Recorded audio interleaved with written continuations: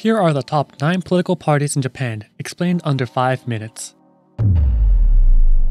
The Liberal Democratic Party, or the LDP, is the largest dominant party since 1955. This party only lost power in 1993 and 2009, a total of roughly 4 years. The LDP is a largely conservative party with conservative economic and social values. They desire to change the constitution, especially Article 9, and strengthen the Japanese military. This party has roughly 60% of the population's vote. The Komeito Party, or Komeito, is a party with religious roots in Soka Gakkai.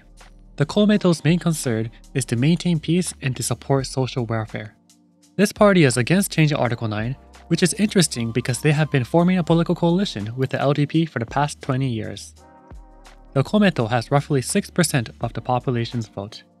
The Constitutional Democratic Party, or Rikken is the largest opposition party. They're the main liberal party, and they focus on education and social welfare. This party does not want to change the constitution and prefers to create a society that uses renewable energy. This party has roughly 20% of the population's vote. The Japan Innovation Party, or Ishin no Kai, is the fourth largest party at the moment. This party favors a small government and wants to decrease the number of political seats in parliament.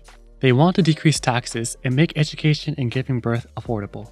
While they have differing policies, when it comes to constitutional reform and security, they probably would agree with the LDP. This party has roughly 9% of the population's vote. The National Democratic Party, or the Kokumin Minshuto, is the next largest party. The Kokumin and Rikken Minshuto used to be part of the same party, but important key figures couldn't agree over some policies and they ended up splitting.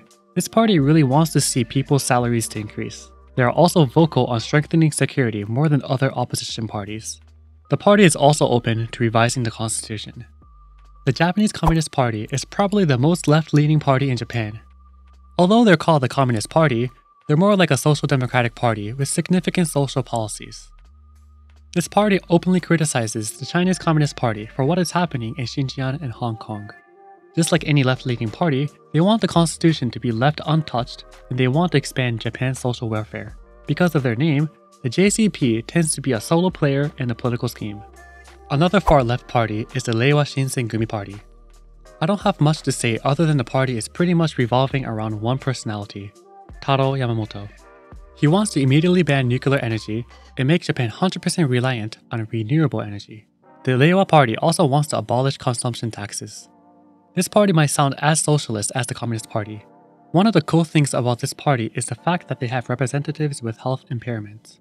For example, one of their representatives has ALS, like Stephen Hawking's, and the other has cerebral palsy. Because of these representatives, the House of Councillors became barrier free in 2019. The Social Democratic Party, or the Shaminto, is another left leaning party, although not as extreme as the previous two. However, I would probably put them in between the CDP and the previous two parties. They also desire to expand social welfare and also abide strictly to Article 9.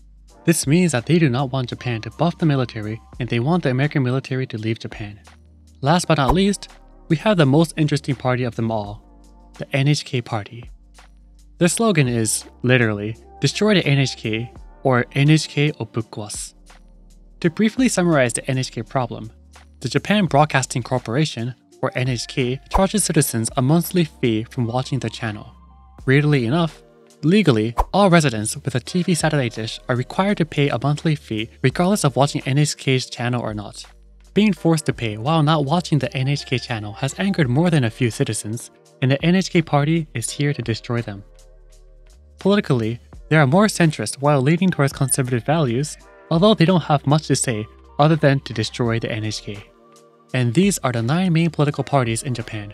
On a political spectrum, we can line them up like this. When it comes to the percentage of seats, it looks something like this. Most parties, regardless of political affiliation, agree that the government should support education and social welfare. And as you can tell, there are a lot of overlaps when it comes to certain policies such as defense and social welfare. However, the differences are noticeable enough that there's 9 main parties. It's great that Japanese citizens get to choose from multiple parties.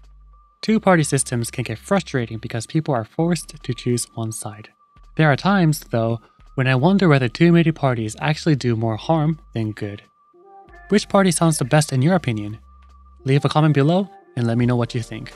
And don't forget to like the video if this was helpful and subscribe to learn more about Japanese politics.